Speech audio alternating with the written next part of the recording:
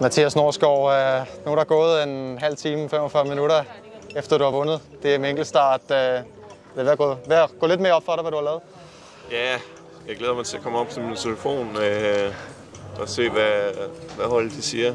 Øh, det er klart, jeg begynder allerede at tænke på nu, hvordan øh, med DM, tror jeg, og, og alt det harpengud, man kan, man kan lide med. Men øh, det har jo lidt været min drøm hele...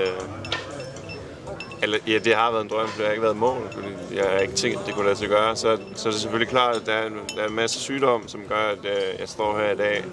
Jeg er ikke sikker på, at jeg har slået Askren og, og Mikkel. Øh, måske heller ikke prisen der, men øh, de skal jo trods alt køre løbet for, for at kunne blive kronet. Øh, og jeg vil sige, det, det er jo bare en, en stor oplevelse for mig, som, som, som vil stå stærk. Og måske være, være det største resultat i min karriere. det kunne det godt gå hen at blive. Øh, og det er jeg bevidst om allerede nu. Øh, det er ikke sådan, jeg allerede tænker, at nu skal jeg ud og vinde VM eller et eller andet. Det er, det er en meget stor dag. Hvad regner du med, at, at der står i den besked for holdet, når, når den kommer? Drømmescenariet er selvfølgelig, at du, øh, du er udtaget til turen, men, øh, men det gør der jo nok ikke. Men, men det er et signal at sende, øh, at, at jeg er i god form. Øh, og, øh, nu må vi se. Nu må vi se. Jeg skal derover uanset hvad som reserve. Øh, en case, der der bliver syg. Øh, sandsynligheden for, at der er en, der får corona nu, er jo rimelig stor.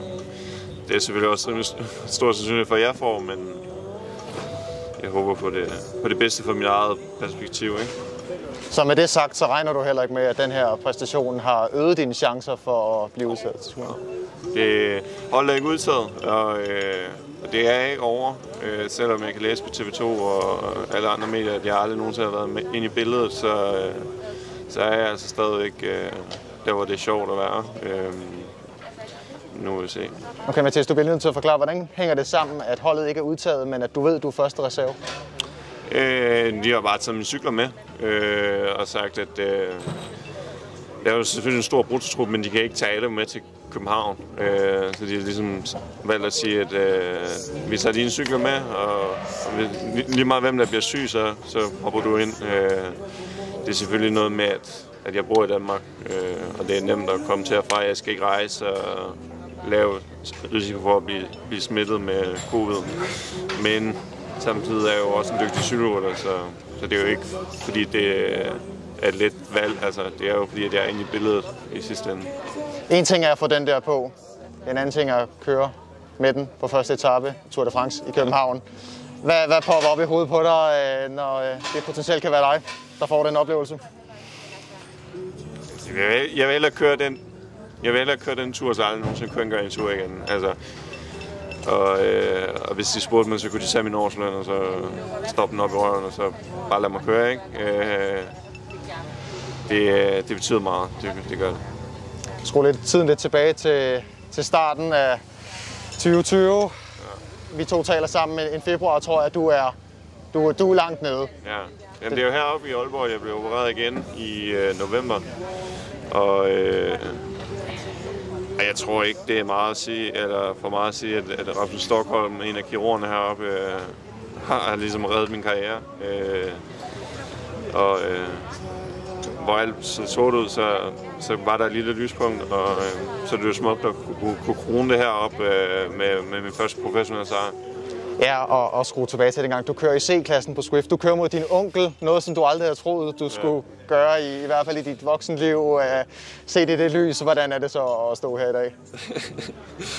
ja, det var absurd jo. Uh, men det vidner jo også om, at hårdt arbejde kommer man langt. Men selvfølgelig er jeg jo begunstiget med en, med en fysik, ikke? Så øh, jeg tænker, hvor mange øh, uforløste potentialer der er rundt derude. Fordi at, det var fordi, jeg ikke trænede så meget, bare lå i min seng, at, øh, at jeg var så dårlig. Øh, Nej, det, øh, der er nok ikke mange i den Swift-gruppe, der tror på øh, historie. Øh, Men den er, den er sandt.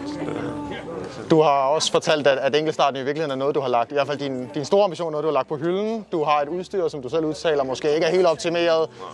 Præsterer du det her i dag? Hvad fortæller det dig om dit potentiale på den her enkeltstartcykel? Jeg vil jo ikke køre i første omgang, og, øh, og efter enkeltstarten i Dauphiné, der var jeg også overbevist om, at jeg ikke skulle køre. Fordi det, ikke, så stærkt kørte jeg heller ikke, men jeg kørte rimelig mange nat. Og så kom min sportsdirektør ind på værelset og sagde, at øh, jeg kunne ikke forstå, hvorfor jeg ikke skulle køre DM, fordi de havde ansat en enkeltstartsrytter, så de ville egentlig gerne se mig køre enkeltstart. så måtte jeg jo gå ind og, og tilmelde mig. Øh, det er jeg så glad for nu, kan man sige. Hvad betyder det her så øh, for dine fremtidige ambitioner på enkeltstartcyklen? Er noget, der kan, der kan rykke lidt ved det? Nej, lige nu øh, nyder jeg bare, at, øh, at jeg har været en rimelig stor sejr. Øh, og øh, uanset om, om Askren har været her eller ej, så, det, så slår jeg kort, som har 8 eller sådan noget Grand Tour sejr, ikke? Øh, og en rimelig habil cykelrytter, Mats B., som, som egentlig har regnet med at skulle vinde, øh, og som mange nok også ser som favorit i København. Ikke? Så, øh, så det er jo ikke for sjovt. Øh, og nu må vi se. Øh, det bliver også spændende at se, hvad, om det giver genklang ude i, ude i feltet. Tak skal du have.